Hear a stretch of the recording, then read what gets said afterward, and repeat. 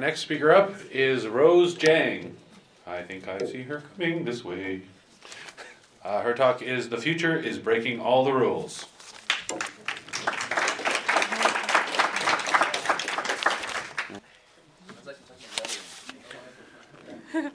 okay, hi, I'm Rose. Um, I have a Twitter, it's Rosamund Cotton. My name isn't actually Rosamund, it's all lies. Uh, and I also have a comedy blog, which is whosroses.wordpress.com. These things will become relevant later on. Uh, today I'm going to question the often unwritten rules that govern our lives and what might happen if we broke some of those rules. Go?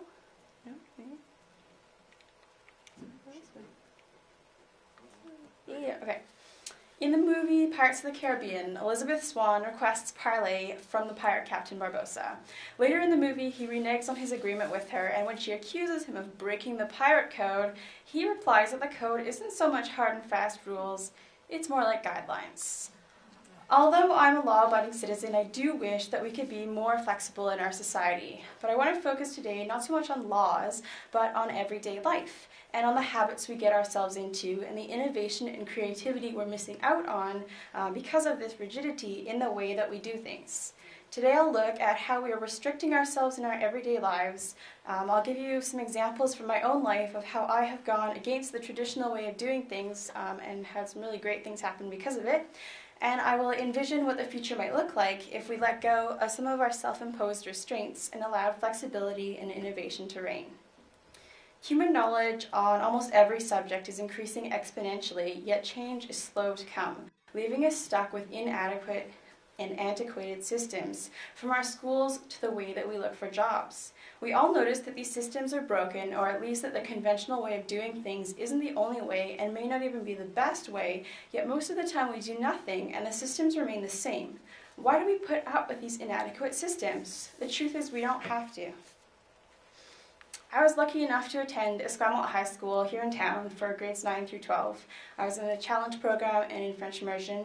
I think there's a lot of things wrong with our schooling system, but today I'm going to focus on one of the things that Esquimalt High did right for me. When I was in grade 9, I took Math 10, Francais Langue 12, and Information Technology 11, in addition to regular grade 9 classes. In grade 10, I took regular grade 10 classes and I took Math 11, Francais Langue 12, and History 12. In grade 11, I took Math 12 and Writing 12, and by grade 12, I had taken all but one of the classes I needed to graduate, so I went backwards and I took Psychology 11 and Graphic Arts 11. And I didn't skip a year of math and two years of Francais Langue because I'm smarter than the other students. I skipped them because Esquimalt High let me, and they even encouraged me to do so, along with some of my friends. I've since spoken to friends who went to different high schools, and they were always amazed by the flexibility that was in my schedule. It should go without saying that people learn at different rates and they learn different things at different rates. And Esquimalt High made it possible for me to not waste my time in classes that were too easy for me. We have this mindset that because you're in grade 9, you need to take grade 9 classes. But luckily, Esquimalt High saw that that rule was self imposed, and there was nothing stopping me from taking classes in another grade. And in fact, Esquimalt High's flexibility stretches even further. If you look at my official transcript of grades, there's two classes on it that I never took. Uh, I skipped the class, but I needed it to fulfill the ministry's graduation requirements, so I just made up a mark and they put it on my transcript. we don't even notice most of the rules that we let govern our lives.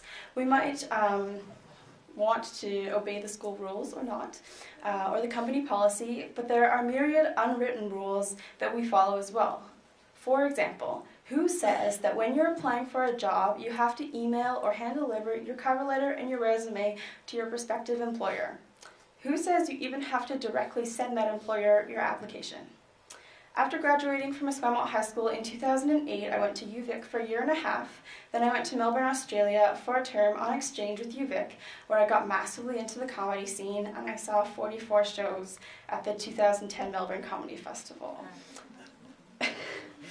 As of last September, I'm at Camosun College where I'm in my first year at the Applied Communications program, and every student in this program is required to do a media related internship after their first year, so for me that's this summer.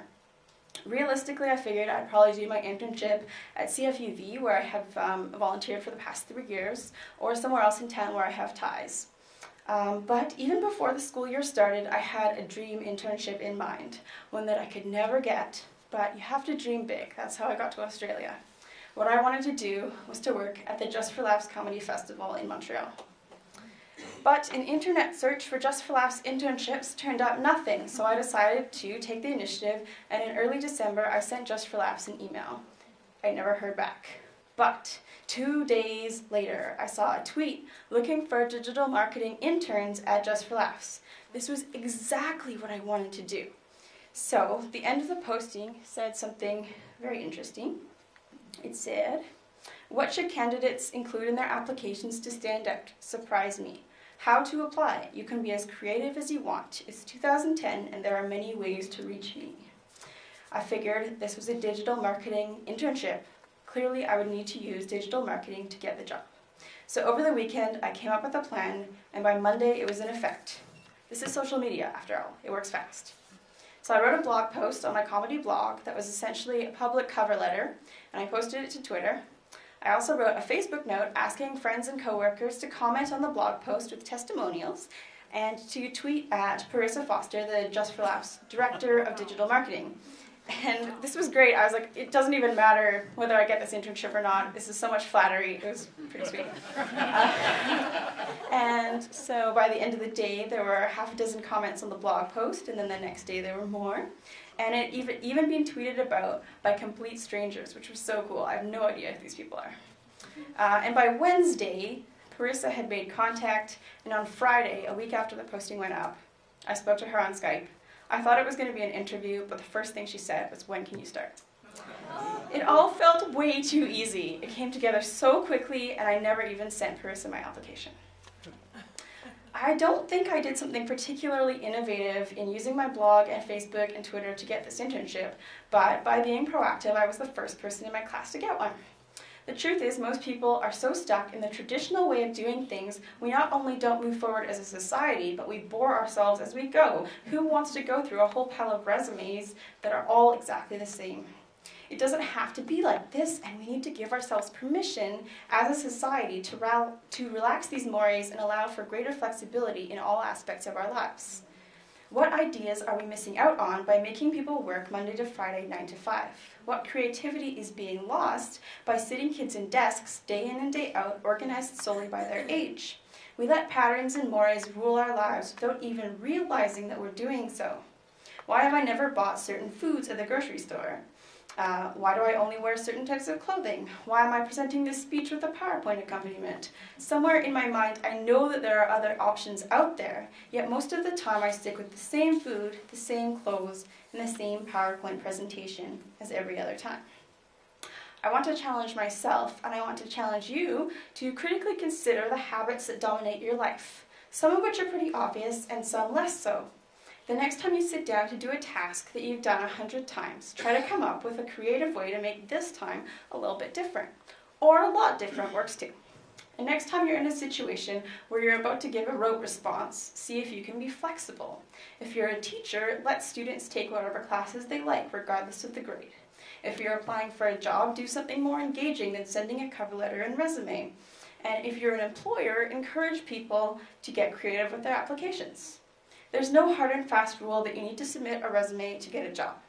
What other guidelines are we treating as rules? If we let the concept of rules go, we will discover a lot more flexibility in our lives and pave the way for a lot more innovation. Wow.